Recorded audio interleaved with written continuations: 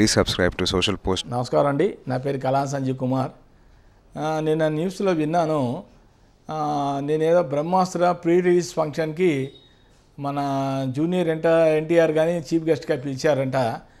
అయితే అది కరణ్ జోహర్ హిందీ మూవీది డబ్బింగ్ మూవీది ఇక్కడ తెలుగులో చేస్తున్నారు. దాంట్లో నాకు నాకైనా నాకన ఉన్నట్టు సినిమా లేదో.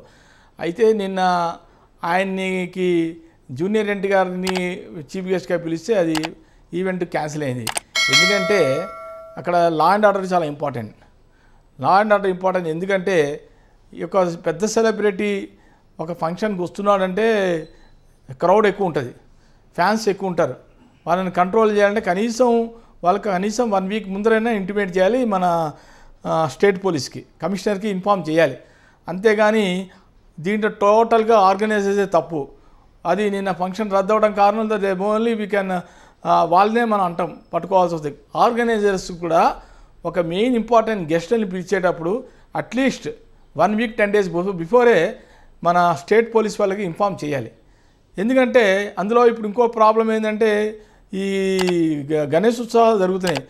గణేష్ ఉత్సవాలు ఎక్కడ ఏ గొడవలు అవుతున్నా లా అండ్ ఆర్డర్ ఎక్కడ బ్రేక్ అవుతున్నా అని చెప్పి పోలీసులు ప్రతి మండపం దగ్గర ఉంటున్నారు వాళ్ళు పోలీసు వాళ్ళు. కాబట్టి ఇక పోలీస్ షార్టేజ్ ఎక్కువ ఉంటుంది. ఎందుకంటే ప్రతి మండపంలో చూసుకోవాలి. ఎక్కడ ఎక్కడికి ఎక్కడ కావాలని రేజ్ చేస్తారు గొడవలు కావాలని. లా అండ్ ఆర్డర్ని బ్రేక్ చేయాలని కొంతమంది చేస్తుంటారు దుత్తశక్తులు అందుకని ఏం చేసింది ప్రభుత్వం ప్రతి మండలం దగ్గర ఒక పోలీస్ కానిస్టేబుల్ పెట్టింది అక్కడ. ఇలాంటి సమయంలో వీళ్ళు పోనే ఈవెంట్ని ఈ గణేష్ ఉత్సవం అయిన తర్వాత పెట్టుకొని ఉంటే బాగుండేది. అది కూడా పోయిపోయి వాళ్ళు పోయి నిన్ననే పెట్టుకున్నారు. నిన్ననే పెట్టుకున్నప్పుడు మరి జూనియర్ ఎన్టీ గారిని పిలవటం వల్ల మరి లా అండ్ ఆర్డర్ చాలా ఇంపార్టెంట్ కదా. ఏ మాత్రం కొంచెం తేడా చేసినా డిస్టర్బ్ అయిపోతుంది. అంతమంది జనం వస్తున్నారంటే పోలీస్ బలకం ఎక్కువ ఉండాలి అది కూడా ఏదో రామోజీ ఫిలిం సిటీలో ఏదో పెడుతున్నారా పెడుతున్నారో పెడుతున్నారని పెడుతున్నారని విన్నా నేను.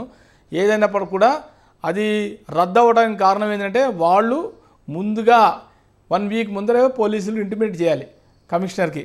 సార్ ఇలా మేము we're going to invite very important people like junior NTR as chief గెస్ట్గా పిలుద్దాం అనుకుంటున్నాము. దానికి మీ పర్మిషన్ కావాలి. మరి మీరు పర్మిషన్ ఇస్తా ఇస్తారా? అని one week ten days before చెప్తే వాళ్ళు ఏదైనా ప్లాన్ చేసుకుంటారు గవర్నమెంట్ పోలీస్ వాళ్ళు కూడా ప్లాన్ చేసుకొని ఇంతమందిని డిప్లాయ్ చేసి ఇంతమంది కనీసం ఈయన వస్తున్నారంటే జూనియర్ ఎన్టీఆర్ వస్తున్నారంటే మామూలుగా జనం రారు. విపరీతమైన క్రౌడ్ ఉంటుంది. ఆయన క్రౌడ్ని కంట్రోల్ చేయాలంటే పోలీసు బలం ఎక్కువ ఉండాలి. అంతేగాని ఒక పది ఇరవై మంది పోలీసు సరిపోదు. లా అండ్ ఆర్డర్ బ్రేక్ అవుతుంది. అప్పుడు చాలా ప్రాబ్లమ్స్ వస్తాయి ఇక్కడ.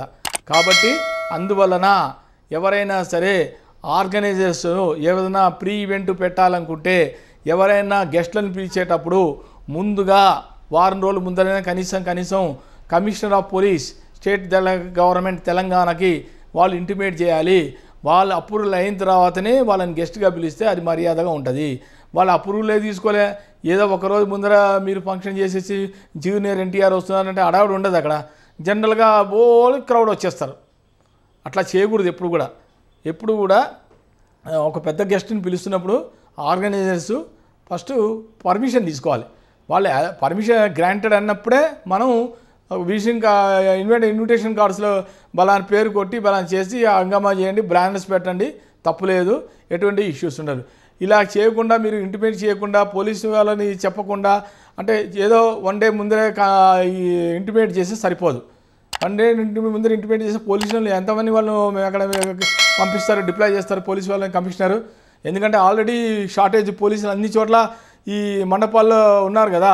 ఈ వన్ వీక్ నుంచి పది రోజుల వరకు ఉత్సవాలు ఉన్నప్పుడు చాలా ల్యాండ్ ఆర్డర్ చాలా జాగ్రత్త మళ్ళీ బ్రేక్ అవుతుంది.